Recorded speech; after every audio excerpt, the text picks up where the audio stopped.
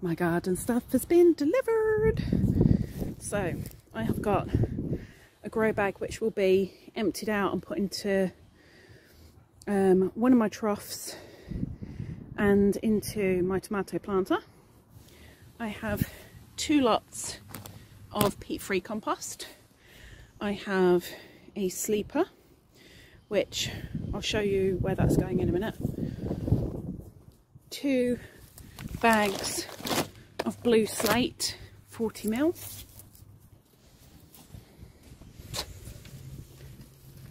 Two basket liners.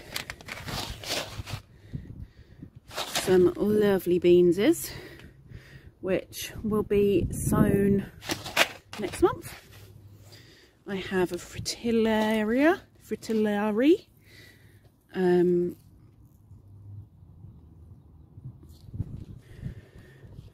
which I absolutely am so thrilled to have back. That'll go out the front.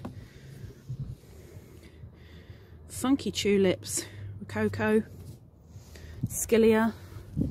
What type of Scillia is it? Siberica? Siberica. Now both of those, uh, all three of those are bulbs. And then we have my house plant which I've now got to find a place for and all my new basket plants which I've got a couple of petunias um, Bidens Sophenia which I've never had before and a Faberna Faberna and another one that I've never had before Helichrysum.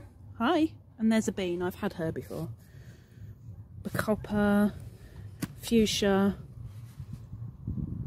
calibrachoa. I can't even pronounce half of these. But that's that. So this sleeper, I don't think I'm going to be able to pick it up. No, I'm not. But I will show you where it's going.